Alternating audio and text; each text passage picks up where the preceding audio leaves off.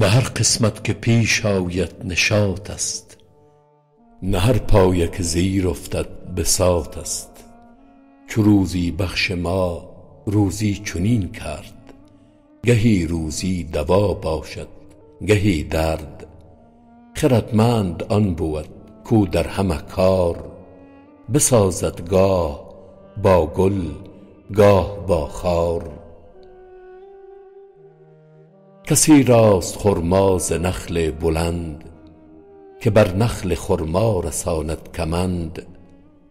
به بستان کسی راست گردن فراز که بویی و رنگی دهد دلنواز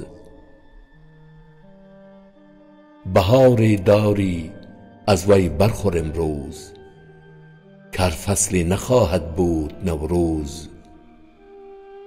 گلی کو را نبوید آدمی زاد چو هنگام خزان آید برد باد. به شغل جهان رنج بردن چه سود؟ که روزی به کوشش نشاید فزود. جهان غم نیرزد به شادی گرایی نه کز بهر غم کردند این سرایی. جهان از پی شادی و دلخوشی ست نه از بهر بیداد و محنت کشی ست خوشا روزگارا که دارد کسی که بازار حرصش نباشد بسی. به قدر بسندش یساری بود. کند کاری ار مرد کاری بود. جهان می گذارد به خوش خوارگی به اندازه دارد تک بارگی نه بذلی که طوفان برآرد ز مال نه صرفی که سختی درآرد به حال. همه سختی از بستگی لازم است چو در بشکنی خانه پرهیزم است.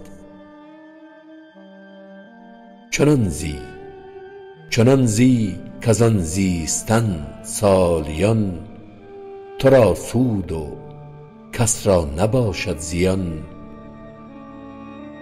به هنگام سختی مشو ناامید کز ابر سیه بارد آب سپید.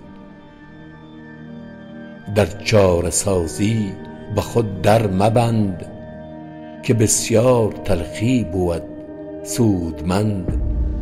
نفس به کز امید یاری دهد که ایزد خود امیدواری دهد.